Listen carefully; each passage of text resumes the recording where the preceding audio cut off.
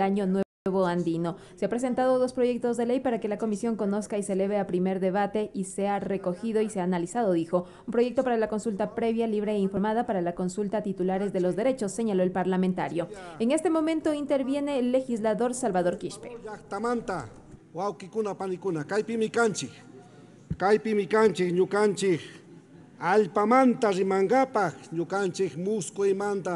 Rimangapaj kaypimi kanchik ñukanchik kawsaymanta rimangapaj yupaychani taita presidente. Estamos aquí para saludar colegas asambleístas sobre todo desde aquí para saludar a nuestras hermanas y nuestros hermanos de cada una de las comunidades, comunas, pueblos y nacionalidades a lo largo y ancho del territorio nacional. Para saludar a nuestros hermanos del pueblo montubio, del pueblo afroecuatoriano, para saludar al pueblo ecuatoriano en general.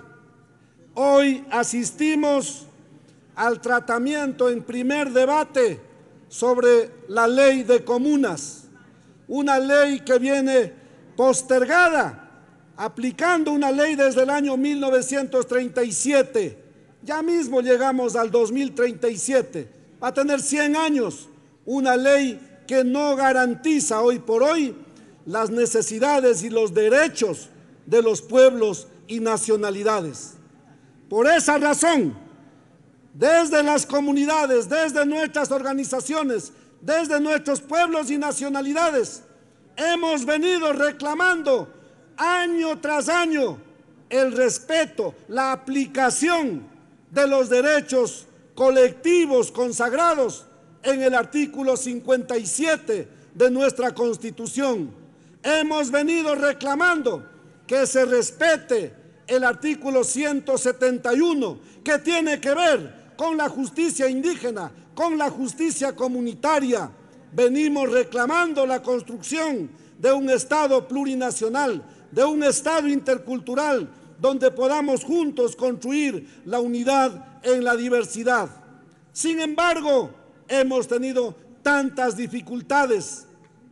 Cuando nuestras autoridades comunitarias imparten, administran la justicia indígena, son acusados de delitos.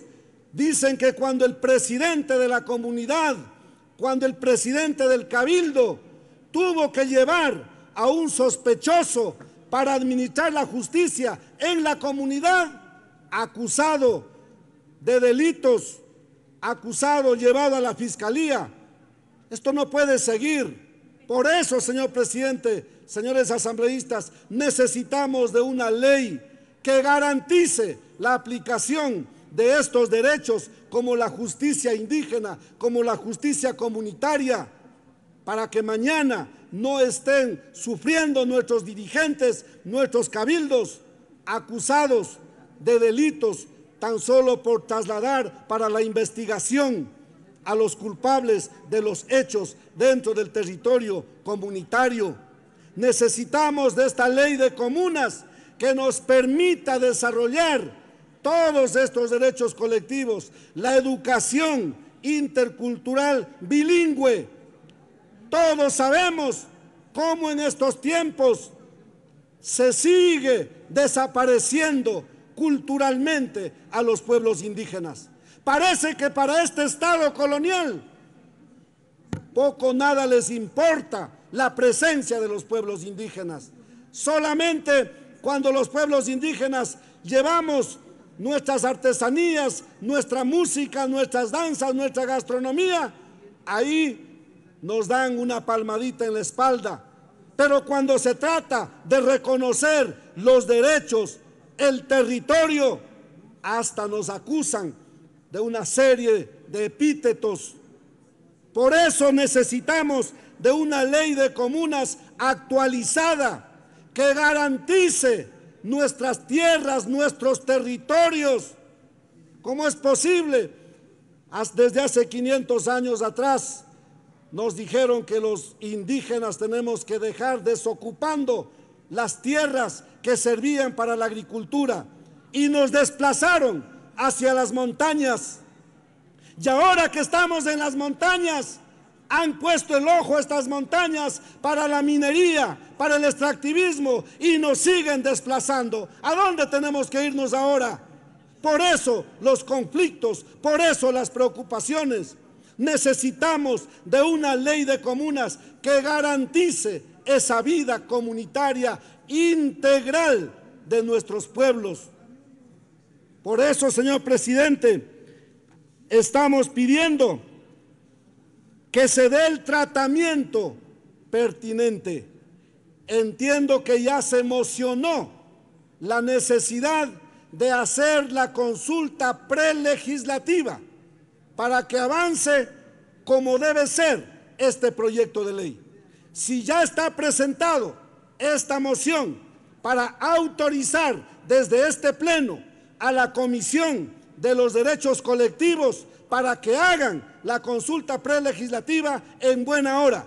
Si no se ha presentado una moción para ese propósito, mociono, señor presidente, para que este pleno de la Asamblea Nacional autorice u ordene a la Comisión de los Derechos Colectivos a que proceda a hacer la consulta prelegislativa en todo el territorio nacional y de esa manera se cumplan los procedimientos, se cumplan con toda la gestión necesaria y este proyecto sea aprobado como corresponde. No vaya a ser que ocurra como el Código Orgánico de la Soberanía Alimentaria, que aquí en este Pleno se conoció en su primer debate, pero no se autorizó hacer la consulta prelegislativa y ahora está en entredicho ese proyecto que busca también garantizar los derechos de nuestros hermanos agricultores que siembran para darnos de comer, pero una ley que se esperaba que camine está trunca en este momento por no tener el cuidado de este pleno o de la comisión pertinente de pedir la autorización para hacer la consulta prelegislativa. No podemos volver a cometer ese error desde este pleno para que luego esté frenado el proceso, el trámite de, en este caso, la ley de comunas. Por eso, señor presidente, si no hay todavía la moción para que este pleno autorice hacer la consulta prelegislativa, mociono y estoy ingresando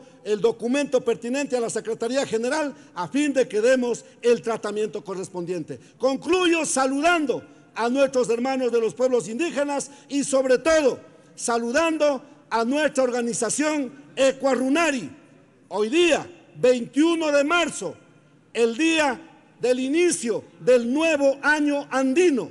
Nuestros hermanos del Ecuarunari, dirigidos por el compañero Alberto Ainaguano, presidente de Ecuarunari, se encuentran desarrollando un evento cultural aquí en el Parque del Arbolito, para lo cual estamos invitando a participar de una serie de ceremonias, de eventos, de actos culturales por el inicio del nuevo año andino, hoy día 21 de marzo. Y de esta manera, señor presidente, dejamos este ánimo, este aliento a cada una de nuestras comunidades, a cada uno de nuestros dirigentes, a cada una de las compañeras mujeres a lo largo y ancho de nuestros territorios, a nuestras lideresas, a seguir haciendo fuerza y a seguir luchando por estos sueños y en este caso por nuestro nuevo proyecto de la ley de comunas para todos nuestros pueblos indígenas, nuestros hermanos afroecuatorianos y los hermanos montubios, que somos los que tenemos bajo el artículo 57 de la Constitución, somos los acreedores de los derechos colectivos. Que viva el nuevo año andino, que viva los pueblos indígenas. Gracias, señor presidente.